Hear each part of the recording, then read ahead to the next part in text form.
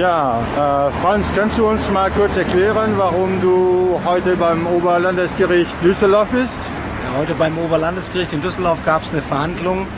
Ähm, ein, kind, ähm, ein Kind wurde vom Jugendamt in äh, verschiedene Heime gesteckt, kam zum Schluss ins äh, Raphaelshaus und äh, durch dein Interview bin ich auf den Fall aufmerksam geworden und bin deswegen heute hier zum Oberlandesgericht gekommen. Ja, und äh, du bist Ingrid, kannst du mal dich kurz vorstellen, wer du bist und warum du heute mit uns auch mal zum Gericht gekommen bist? Ich bin Ingrid Höllmann aus Iserlohn von der Großelterninitiative Sauerland. Wir kämpfen auch gegen die Macht der Jugendämter und über da, da, wo es Solidarität zu beweisen geht, versuchen wir Präsenz zu geben. Und von daher bin ich auch heute zu dem äh, Gericht hier nach, nach Düsseldorf gefahren, wie Herr Roma auch schon gerade sagte, zu dem Prozess. Und äh, wie hast du von diesem Prozess hier beim OLG äh, Düsseldorf erfahren? Aus dem Internet und einer Berichterstattung und über die Papa-Liste, der ja dankenswerterweise immer die äh, neuesten Mitteilungen davon dir veröffentlicht werden. Und du, Franz, du vertrittst äh, welche Gruppe und äh, wie hast du es erfahren? Ich habe auch aus der äh, Liste von Thomas Sochert erfahren und äh, ich selber bin aktives Mitglied beim Menschenrechtsverein Curare in Köln und wir unterstützen äh, äh diese Fälle auch, wo sich Eltern äh, auflehnen gegen die äh, völlig ungerechtfertigte, unkontrollierte Macht des Jugendamtes. wie, ist das, wie ist diese Verhandlung ausgegangen? Wer, wer war da? Wie viele Menschen sind eigentlich gekommen?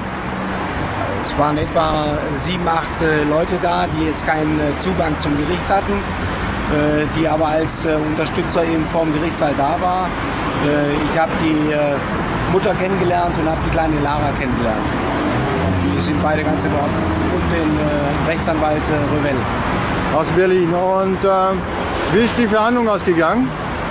Wie, wie, viel weiß man jetzt von der, vom Ausgang? Also ich habe wenig Kenntnis bis jetzt. Der Kenntnisstand, den ich habe, ist, dass die Mutter das Sorgerecht wieder zurück hat und das Jugendamt offenkundig darauf besteht, dass die Tochter äh, von ihr äh, in eine Therapie kommt, zu einem Psychologen, äh, den die Mutter aber, äh, wo die Mutter nicht hin darf. Ich habe äh, gesehen, dass ähm, neben ja, Eltern und Großelternvertreter, auch mal andere Leute da waren.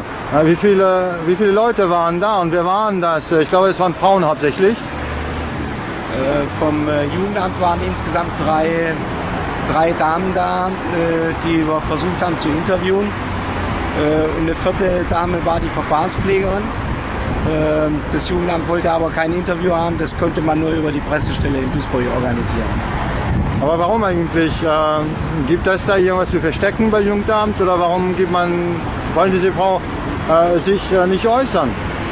Tja, äh, offenkundig scheint es irgendwas zu geben, wo sie sich verstecken müssen.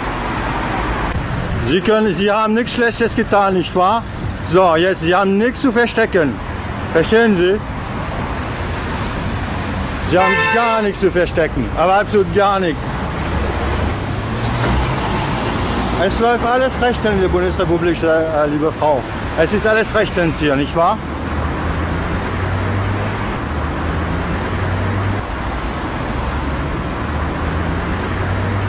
Gar nichts zu verstecken haben Sie. Können Sie gerne uns ein Interview geben. Und äh, Ingrid, wie hast du äh, die äh, ganze Sache empfunden heute? Ganz fürchterlich erniedrigend für dieses kleine Mädchen.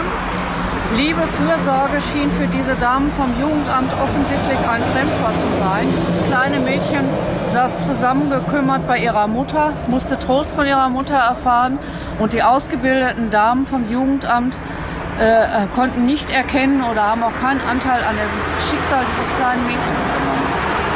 Es war also für mich als äh, bekennende Oma und bekennende Mutter eine ganz grauenhafte Situation.